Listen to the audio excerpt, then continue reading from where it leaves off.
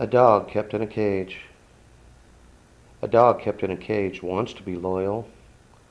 Abandoned except when the rare morsel is tossed or when the taunting occurs.